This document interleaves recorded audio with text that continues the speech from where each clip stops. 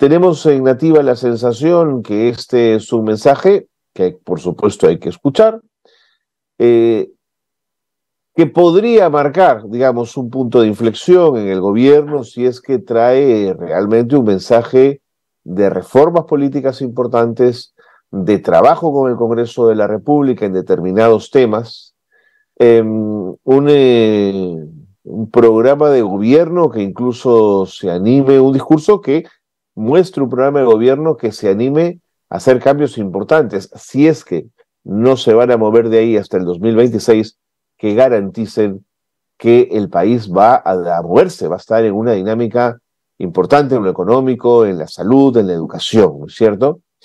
Eh, imaginemos por un momento que sí, que tenemos un importante discurso, un discurso con reformas eh, interesantes, medibles, con posibilidad de ser concretadas en el tiempo. La preocupación que tenemos es que en el sustrato de ese intento por hacer cambios, reformas y hacer las cosas de forma diferente, siempre en el supuesto, por supuesto, que esto sea así, el problema va a ser la enorme desconfianza ciudadana hacia la presidenta de la República y hacia su ejecutivo.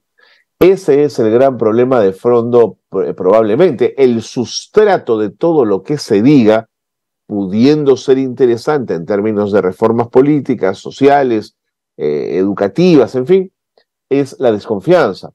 ¿Cómo se gobiernan dos años con niveles de aprobación del 85 o 90%? Esa es la preocupación que tenemos y que compartimos con ustedes esta mañana y que se la vamos a trasladar también a eh, nuestros invitados.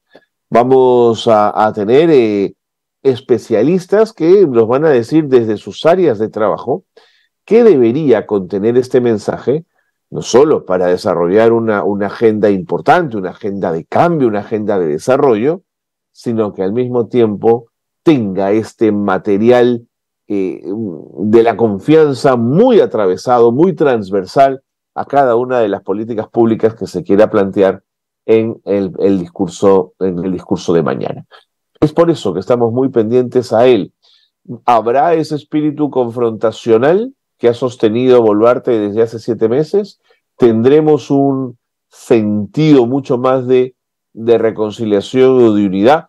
¿Puede haber un discurso de reconciliación y unidad cuando aún campea la impunidad por los 49, las 49 personas asesinadas por las fuerzas de seguridad del Estado? Esa es la gran pregunta que la queremos plantear a nuestros invitados.